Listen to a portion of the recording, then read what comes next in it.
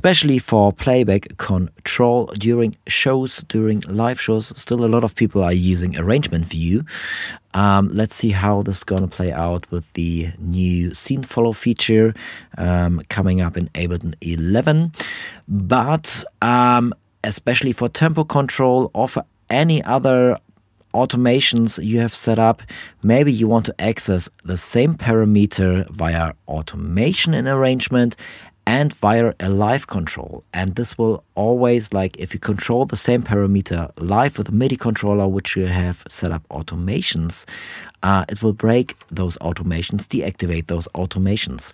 So the same goes for the tempo control stuff. So let's set up some song tempo um, automation here. So we're gonna open up the mixer and song tempo and set a song tempo automation, just a random one. So you can see now the leader BPM goes down here according to this automation I just wrote in the Ableton Live set here.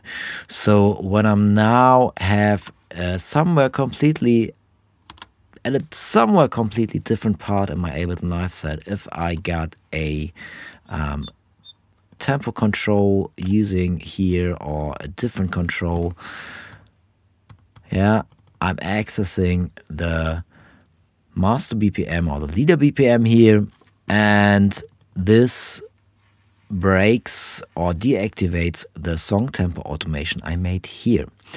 So obviously at some parts I want to do this and at some parts I want to go back to the automation I set up in here.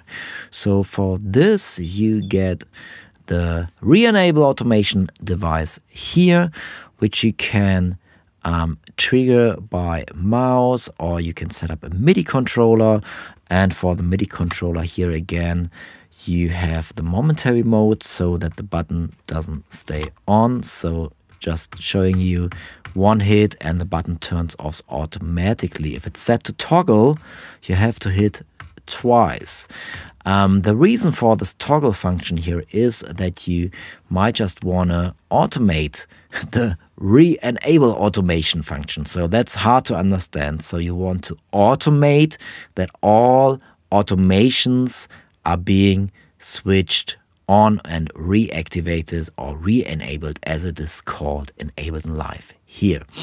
So for this, I want the button mode to be toggle. And for this, I need to bang the button on and bang it off again. And I'm in the wrong track here. Sorry. So I need to go to this track. So this is the automation I want to access. So I'm triggering the back to automation button on and then triggering it off again. So this way it's turned on and turned off um, right here. So let's go back to our example. So we have um, a song tempo automation in here and it's now broken as I would say it's deactivated but because I changing the tempo here with this device for example so but as soon as I'm getting to this point here the re-enable automation will be triggered and this will re-enable the tempo automation set in here. So let's play this again. Boom, boom. And you can see this is now re-enabled and activated again. So um, for everyone who didn't understand what was happening here right now, once more. So let's say you have a big, big set and at the beginning you're playing some tunes where you want to access like a different tempo and want to set the tempo different so I'm doing this here with my device so as soon as I change the tempo here this tempo automation I have um, written in before is deactivated so I need to re-enable this tempo automation. And usually it's this button here.